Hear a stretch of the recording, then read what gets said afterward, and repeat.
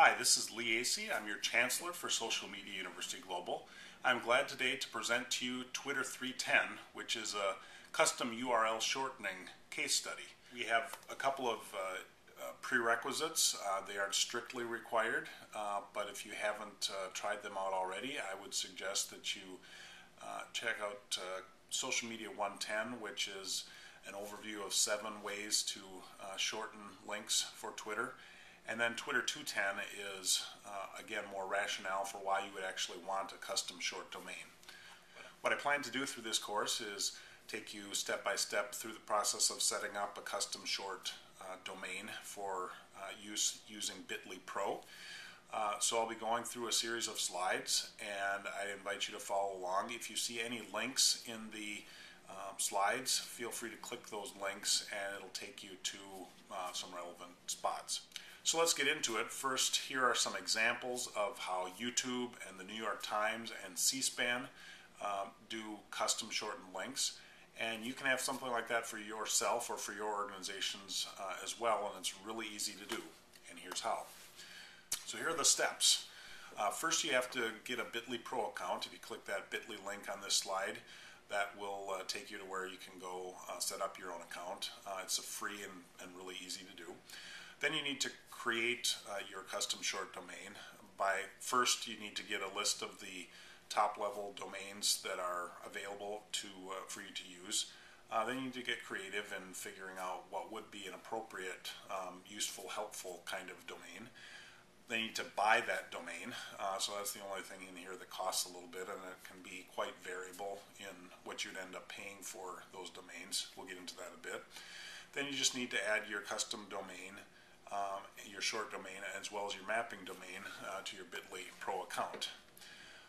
On the topic of top level domains, uh, if you click the link for TLD options, uh, that will take you to the list of all the country codes as well as the um, generic uh, codes that are available. And then, um, so they're both uh, generic and then by country. And then you need to just brainstorm some options as you look at what those suffixes are on those domains. Um, and then look at what your organization's name is or your personal name. Uh, that's how you can uh, um, look at what your what your choices would be in terms of how you could creatively create a shortened domain, a short domain that could have then an extension, but still shrinking, you know, 80 plus character domains down to maybe 20 characters or so uh, for more um, successful use in Twitter. So my choices were leeaa.se, uh, going under the Sweden um, domain, top level domain. Um, I also checked out sm.ug for Uganda. Uh, I thought with uh, Smug that would be kind of cool. And then uh, my final choice ended up being leac.me, uh, again because my name is pretty short, and we'll get into some reasons why I ended up going with that. I looked at the Sweden option. Um, and for me, this was a, an okay uh, choice. It would actually would have been ideal. Uh, it would have been really cool. L E E A A S no L E E A A dot S E. Unfortunately, it was 79 euros, which is probably like 110, 120 dollars or something like that, and that was a lot more than I wanted to pay for something that was just going to, um, I mean, for a little old uh, university based in southern Minnesota. Uh, so I ended up uh, not going with that. Uh, if you're working for a large organization, if you have a, a, domain that fits that well, I would highly recommend doing it. I mean, that's uh, that would be for a for a big organization. That would be really cool if you could get an option like that. I did also check out sm.ug. Uh, unfortunately, as I as I looked at that, it wasn't going to work. Um, I wasn't it, I wasn't able to buy at that top level, and so. I ended up uh, going to GoDaddy, uh, did the search for leeac.me, uh, leeac.com, and they were both available. So I actually secured them both, and it was about uh, $40, $50 or something like that for two years uh, to be able to get that. So it was much more economical. So I also reserving leeac.com I think was probably a pretty smart thing. Um, so just uh, for protection, for not that anybody else would take that, but why not? Um, so then on Bitly, what you do is when you have your custom short domain, when you own that domain, um, you go to uh, this link where I say custom short domain um, on this slide, and you enter the, the domain that you want to be using under add short domain, then you have to verify it. Um, and so it gives you instructions in terms of creating an A record on your domain, on your short domain that maps to this uh, 168.143.174.97. Um, that's not hard to do. Uh, I went to uh, GoDaddy, I clicked on the DNS manager, um, so you click the launch uh, on this slide. Uh, then uh, I was able to go in and you look at that top level, the A host domain, and you just edit that and uh, put in the, the uh, bit.ly uh, IP address. Uh, once you've done that, then you need to go back to the verification, click on where it says verify the short domain, and you'll get a message that says that the verification has been started, that you should check back in a few minutes and um, within my experience, it was you know five or ten minutes when I checked back. It's uh, I got this message that says your custom short domain has been verified. So I was able to to do that.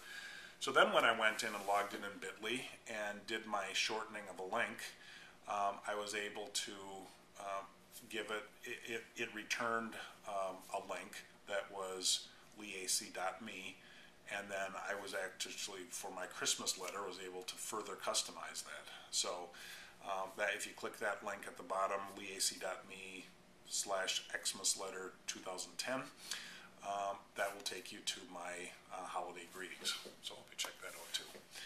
Then you also have a dashboard tracking domain, um, and that's actually the the main domain of your blog or of your website. And so I put in my Social Media University Global URL clicked add tracking domain. Then you do need to go to your website and there are three different ways, uh, you pick one of them, that you can verify that you actually own that domain so that they're giving the analytics to the right person.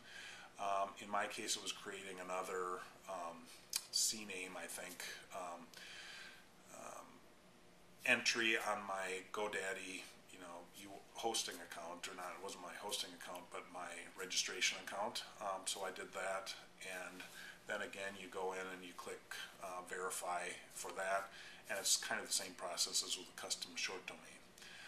What are the benefits of doing this? Uh, first, you know the analytics on the clicks that you get from your from your domain um, uh, from short links, and I believe that will give you uh, links both to your custom, you know, to your main website or, or blog, uh, whether you're creating them with your custom short domain or whether they're just bit.ly links that are created through TweetDeck or wherever. But the big thing is that your users, well, one of the big things is your users can click on your short links with confidence because unlike some you know tiny URL or bit.ly or ow.ly links, which could, you never really know where they're going, um, if uh, what you're saying by putting your custom short domain on there is that you've created these and they're trustworthy. So if you're clicking on a C-SPAN or a YouTube or you know one of the other New York Times kind of links, uh, when you see one of those short links, you can know, hey, that's safe. Likewise, when uh, people click on a leac.me, um, they'll be able, if they know me, uh, they'll be able to trust that, hey, that's a worthwhile link or it's something that uh, it's at least going to be safe. It's not going to take me to, a, to an unsafe site.